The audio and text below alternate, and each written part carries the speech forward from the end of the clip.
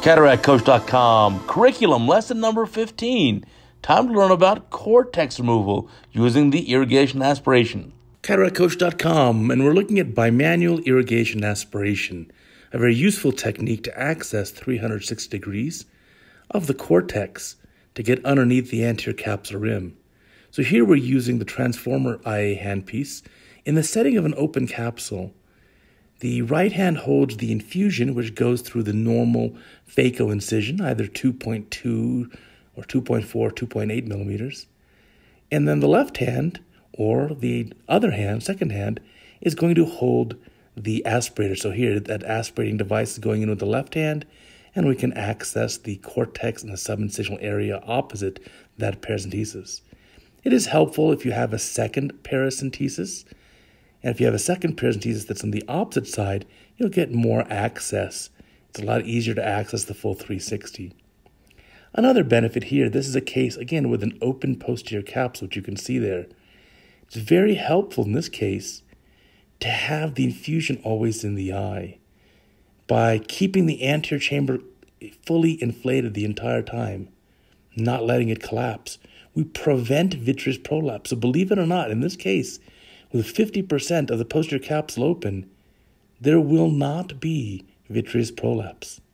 So now the infusion's gone and staying in the same hand, and the cortex now is being removed with the aspirator through the second paracentesis.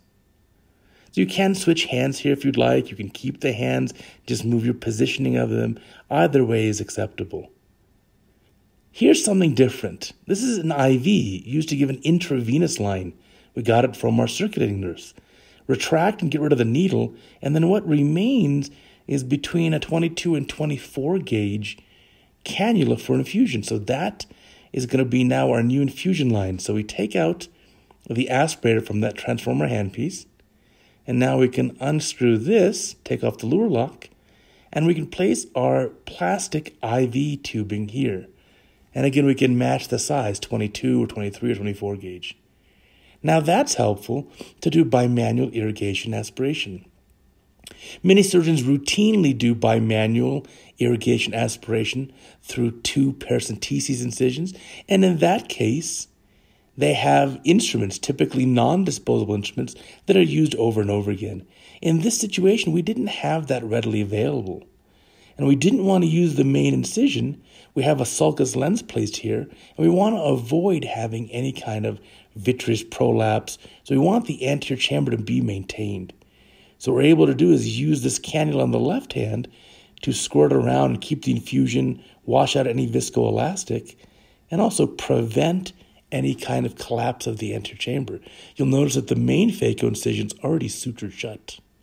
Now we can hydrate and seal up the two paracenteses incisions as well as the main incision and finish the case. So a very important lesson here, and that is you have to be able to think on the fly. And if you don't have a bimanual irrigation aspiration set ready, readily available, it's okay to use things like a plastic IV tip in order to accomplish the same goals. Thanks for watching. CataractCoach.com talking about reflux mode. What's that? This is a routine phaco case. We're going to speed through the initial parts of it. There's the incision. Here showing you the completion of the capsulorhexis. And then we'll go on to the phaco mode and remove the nucleus as well. Reflux is when you get the pump on the machine to move backwards. Instead of aspirating fluid out of the eye, it puts fluid back in the eye. So it's helpful to release suction. Most commonly, we use it during IA and cortex removal, and that's what I want to show you here. So, removing cortex Everything looks good, and when we inadvertently grab the capsule, watch carefully, there it is. Those radial lines on the posterior capsule tell me that we're inadvertently grabbing the posterior capsule.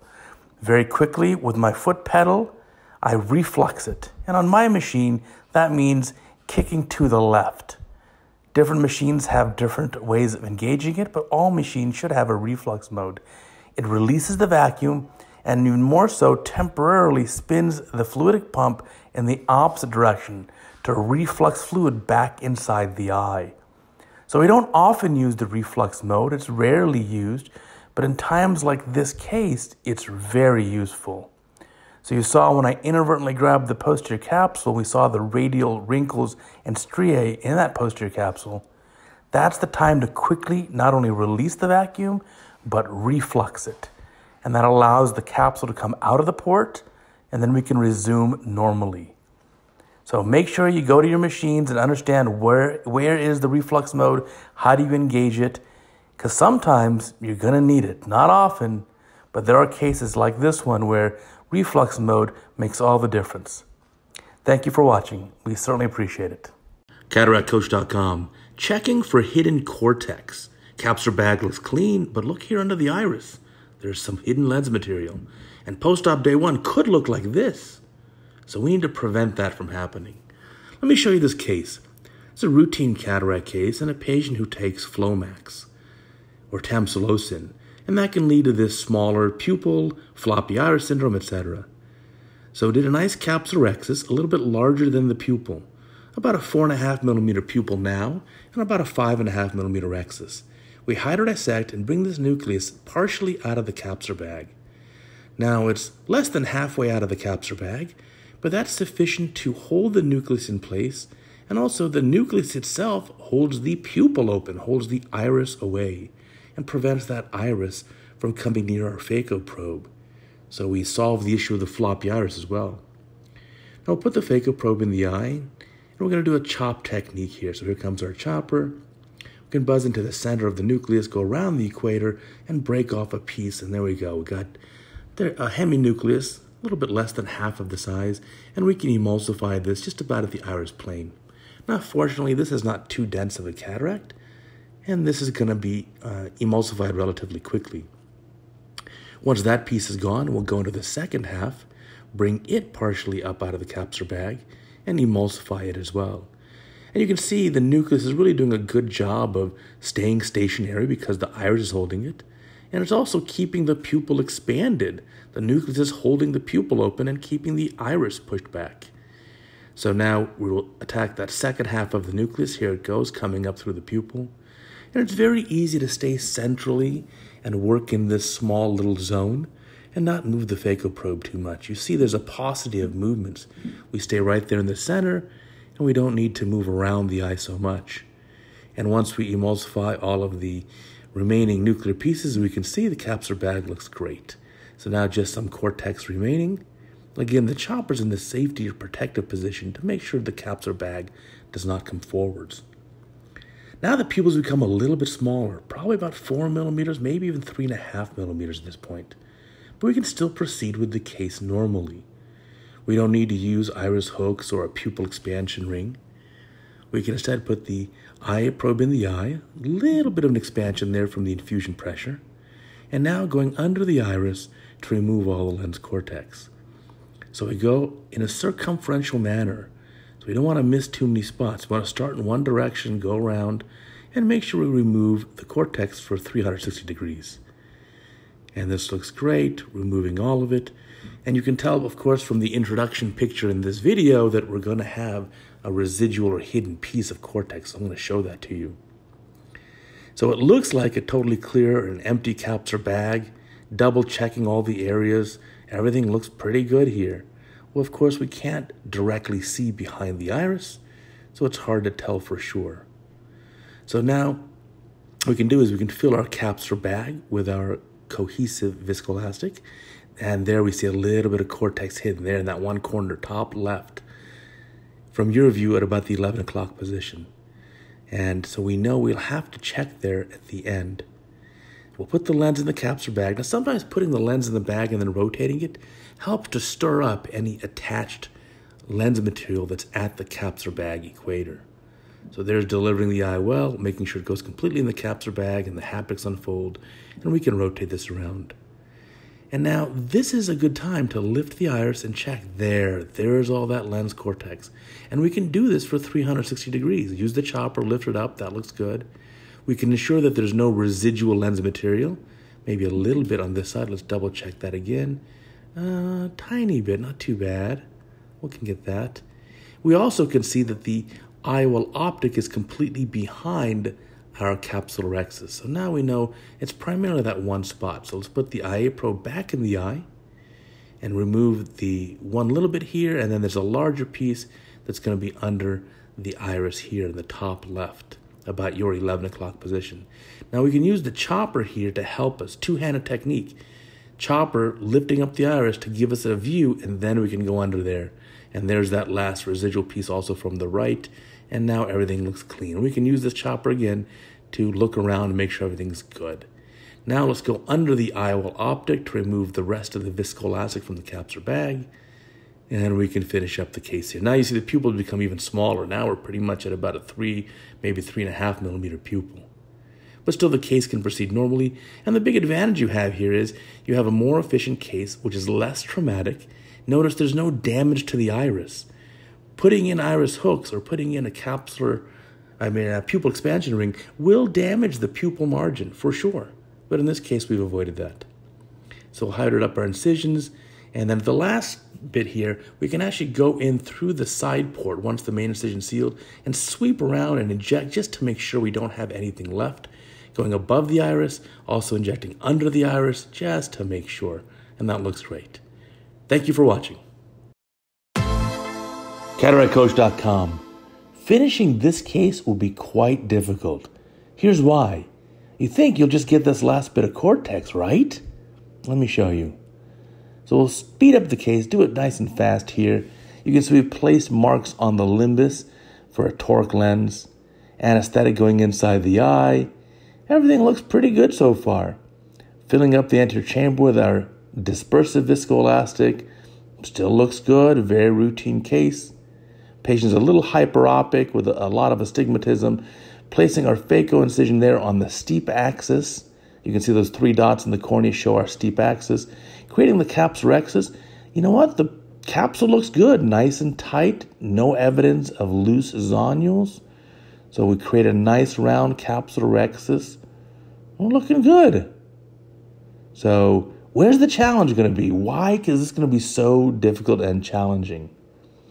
A little bit of hydrodissection I'll see a few fluid waves going across. That looks good. There's our nucleus. It prolapses partially out of the bag. Hey, we'll take it. No big deal. More dispersive viscoelastic to protect the cornea. Phaco probe going in the eye. We're going to use our chopper. We're going to chop, chop, chop this nucleus. So probe there. Nucleus is chopped in half. Each half is then emulsified. So you're still wondering, okay, where's the challenge? Now, part of the challenge, the minor part of the challenge, is that it's a very high profile patient in our practice, and it's a very important um, patient for us to get a beautiful outcome. The challenge is the patient hasn't told you, and you find out only afterwards that the patient was in an accident where he got hit in the eye, and the patient has sustained a little bit of zonular loss. Now, not much. In fact, when we created the capsulorhexis, it was totally normal. So let's watch now during cortex removal. So nucleus is out, that one very efficient. We're showing you the whole case, nothing hidden from you. Nice and easy on the cortex removal, but what do I notice? As we remove the cortex, the AC seems shallow. The posterior capsule keeps coming forwards. So it's really difficult to access everything. The capsular bag has collapsed. Why? We have a lot of infusion pressure, but some of the fluid is going through the area of zonular breakage and into the anterior hyaloid face. So now it's collecting some fluid in the anterior hyaloid face. And that little bit of subincisional cortex is tough to get out. Because when we put the phaco IA probe down that area, we end up getting just more infusion going into the anterior phase. So here comes the IOL. Again, the bag is shallow. So it's very difficult to kind of get this thing dialed in where we want it. So we finally get it into position. And now we can go in and remove the rest of that cortex piece and the viscoelastic from behind the IOL. Now we still have to do our normal techniques of removing viscoelastic from behind the IOL because it's a toric lens. We don't want it to rotate. So we still have that persistent area where there's that subincisional cortex. I try to get it out here manually using a cannula, 27 gauge cannula on a 3cc syringe. That helps to loosen it up. And we'll try a little bit more. So, what are the other options? Well, you could do a pars plana stab and try get out some of the fluid that's accumulated in the anterior hyaloid face. That's one option. You can also do what I did here, which is just increase the infusion pressure and hope that most of that infusion pressure is going to just deepen the AC instead of going behind and causing more fluid to accumulate in the anterior hyaloid face. So again, we're still having a challenge here. Look how shallow the anterior chamber is. Now, the fluid that's left in the anterior hyaloid face, it'll equilibrate and absorb and be gone within a day or so. So that's no issue of leaving it there. But I don't want to leave the case like this. I don't want to leave the patient with this IOL not in the appropriate position, etc. So now we're going to do a bimanual approach. Get that last bit of cortex out. Don't leave it behind in the eye. Now it's cleaned up. And we still have a nice overlap of the rhexis. That looks beautiful. Let's dial in the IOL to the appropriate axis. Again, not easy, so try again. Infusion going in the eye here. And it's tough because the AC is so shallow, but we're just going to nudge the lens around. So this is why it's so important to ask the patients ahead of time, have you ever had any trauma to your eyes? Then you can know to expect a challenge like this.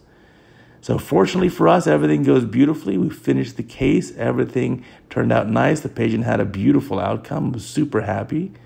And we did find out in the post-op period that yes, he did have that injury that he neglected to tell us about.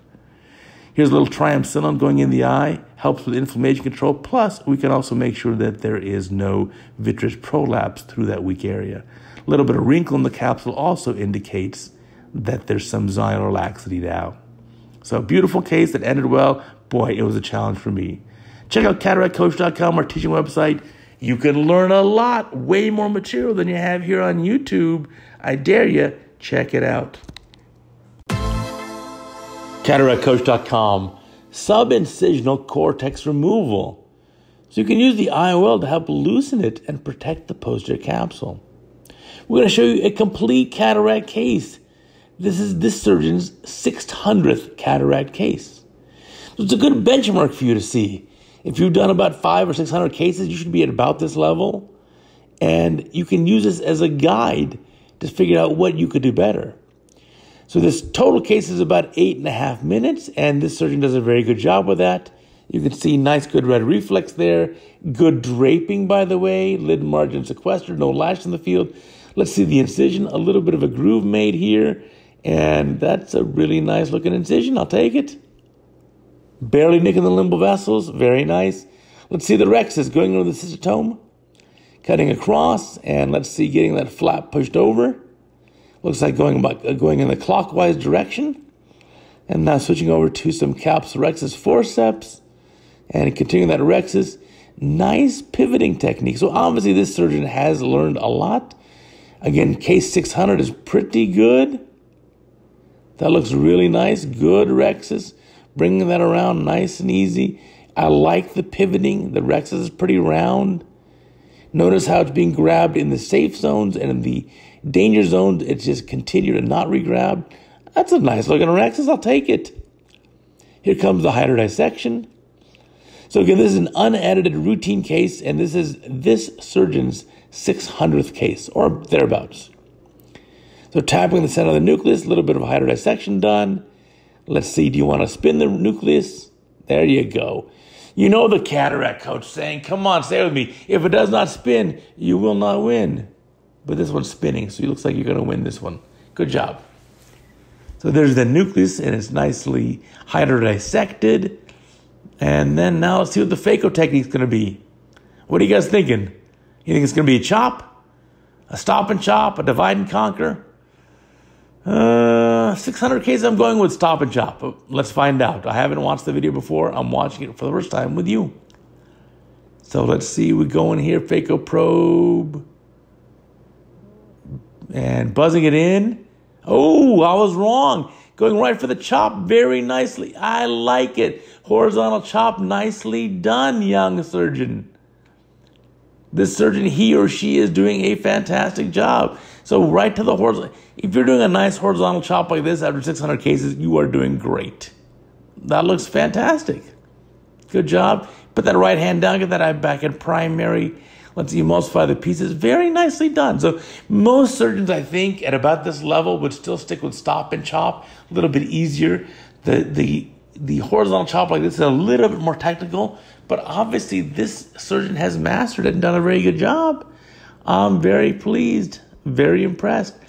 There's the other heminucleus left. Let's see buzzing of the probe. Chopper going around the equator, cleanly done. Very nice technique. Young Jedi, you are doing very well. So now removing that little last quadrant here. And let's see any further sub chop, probably not needed. Emulsify that down. Eye staying pretty much in primary. Good job there. Taking that last little bit of nucleus out. Alrighty, time for the IA probe. Very, very nicely done. I am impressed. Now, cortex removal, IA probe coming up. And you saw from the title slide, this is a case where the subincisional cortex is a little bit tougher to remove. Now, in the US, the most common way is doing this style, which is a coaxial irrigation aspiration to remove the cortex. In other places, like in Europe, you'll, you'll find that the bimanual approach with two paracenteses is far more common. And arguably, that does give a little more access. And you also can switch hands and get that subincisional area maybe a little bit better. We have shown videos of even the coaxial system that can be taken apart, the transformer IA handpiece which you can then turn into an instant kind of bimanual approach where the aspirator goes in through your paracentesis to access that subincisional area. And that works too. But in this case, I like that this surgeon is doing something a little different. And here's what's going on. So the cortex is mostly removed. It's just that subincisional area. Now I find that it's easy here at this point to get the eye out of primary. I know I keep telling you the whole case to keep the eye in primary, but here's the one case where I'll get it out of primary and that's to get the eye moving temporally here or towards the subincisional area so I can access that one area. And this surgeon is going to have a harder time doing this, and he or she is going to do an alternative technique. So that subincisional cortex is a little bit tough time coming out. That's okay. The rest of the stuff has been removed pretty easily. So a couple options here. Yes, okay, you don't have a bimanual setup, you don't have a transformer IA handpiece. What else can you do? You can come out of the eye and inject the viscoelastic through the paracentesis and use the OVD to loosen up all that subincisional cortex. Or you can do what this case is going to be. You can just fill the capsule bag with viscoelastic, get the IOL in, and have that IOL rotated around so the IOL itself will loosen up that subincisional cortex. But do not leave the subincisional cortex like this inside the eye. You can't do that if you leave it in there, this little bit of cortex will swell up to many times its normal size and be this big, fluffy, white cotton ball stuff right in your visual axis the next morning. So don't do that. So make sure you get it out. So in this case, yeah, here you go. The single piece acrylic lens is going to go in. Looks like an automated injector. I like that. Looking good. Let's get that inside the eye. And then you can use that IOL and kind of dial it around in the bag and use that to loosen up the subincisional cortex. So here comes the lens going in the capsular bag very nicely. And as that lens goes in, you can loosen up the subincisional cortex with it. Plus, the lens itself will keep the posterior capsule away. So when you're doing the final cortex removal, you don't have to worry about that posterior capsule coming into your port. Now, I like that the surgeon rotated the lens away so the haptics are not pushing that subincisional cortex back into the capsular bag equator. That's important. So now you can just go with the IA probe and don't waste any time. Go right for that subincisional cortex. Don't worry about the viscoelastic right now. Go right for the subincisional cortex and you'll be able to grab it and pull it out. And look how the IOL optic gives you some room and the IOL optic keeps the posterior capsule away. So now you can fully access that subincisional space. Okay to get the eye out of primary position here. Get a good grab of that subincisional cortex. You don't quite have. There you go. You're almost there. Don't give up now. Come on. There it is. And now, once it's removed, get the lens back into center position. Let's finish up this case. And you can see it was a nice incision, nice rhexis. This is a dang nice case.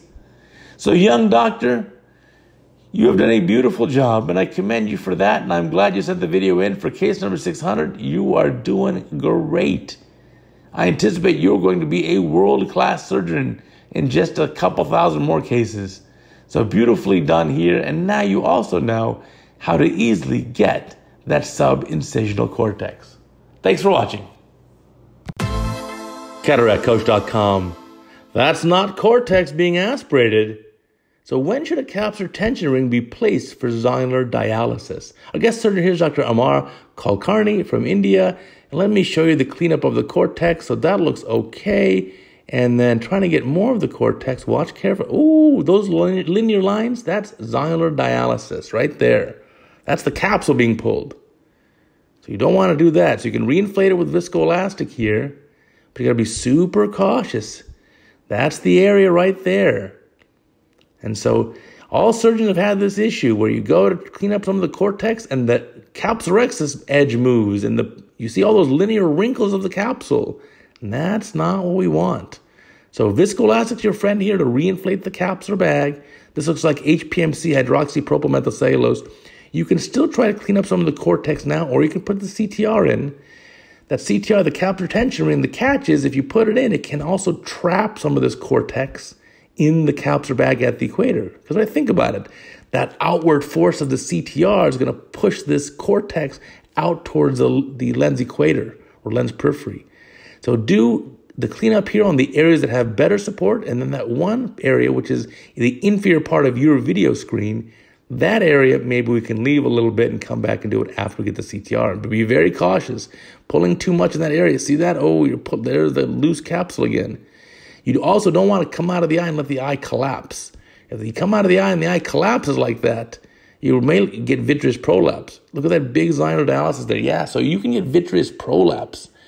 So you need to make sure that anterior hyaloid face stays intact. So again, lots and lots of viscoelastic. This is a stressful case. You got to keep calm under pressure when you're doing this. Dr. Kulkarni is doing a really good job here. Staying calm. Look, plenty of viscoelastic. Remember, who told you viscoelastic is cheaper than vitreous? If you need more, you need more. Use it. So taking out that last bit of cortex.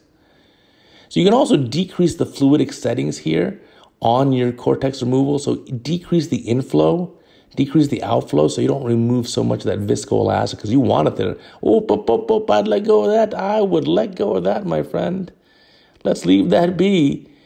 And then come out with the aspirator, but leave the infusion in. Don't take them both out. Oh, no, I'd leave them both in and then put viscoelastic in. So here's the viscoelastic. Definitely needs a capsular tension ring. Now, fortunately, I think this is only a few clock hours of zonular dehiscence. So maybe three, maybe four clock hours. A CTR alone should be sufficient. Once you get to six clock hours or so, you may have to use a sutured CTR or capsular tension segment or some other technique. But I think in this case, you should be able to put the CTR in without too much issue here. So, was this traumatic from ahead of time or was it iatrogenic traumatic? Hard to say. But either way, we know what we need to do. So we need to put in more viscoelastic and let's find that CTR here. And so CTR is coming. And again, you can put it in manually, as we showed you last week, or you can put it in with an injector. Either one is okay. Let's see what we're going to do in this case. So again, more and more viscoelastic. You may want to also tell your staff to get the triamcinolone out. So when you're done with this case, put some triamcinolone there just to make sure you don't have any vitreous prolapse. If you do, you may need to do a little bit of an anterior vitrectomy as well. But the only way to really tell is to use that triamcinolone to get a good stain of any prolapsed vitreous. It'll also obviously help with post-op inflammation here. So now, more and more viscoelastic. Okay, let's get that CTR. Come on, people. We want that. Now, CTR, now here it is. So being placed manually. Again, I like the position here. So starting off away from that area and going in tangentially, following the curve here of the eye, of the capsular bag. So that CTR is going to be placed quite gently. Okay, going the other way. Either way is okay. Get that in the capsular bag, nice and gently. Advance it and as a nice in a controlled manner. And you can see the little eyelets on the end of it. Those eyelets can be helpful to use a Sinskey hook or other small instrument to hold them to get it delivered. So you can even use a two-handed technique by the um, feeding hand over hand like he's doing here, or you can just one-handed And as that's advanced in, that trailing haptic can then be, uh, trailing arm can be grabbed here with just that uh, Sinskey hook. There's that Sinskey hook. And that can be placed here inside the eye. And this pair is big enough to get the forceps tips in there. And now it can be gently placed in the capsular bag. Now that's going to provide sufficient support. And you notice the rhexis kind of goes back to its original shape. And there's the lens in the bag. And all is well that ends well. And this patient had a nice outcome. A little bit of wrinkle in the capsular bag. That's okay. Thanks for watching.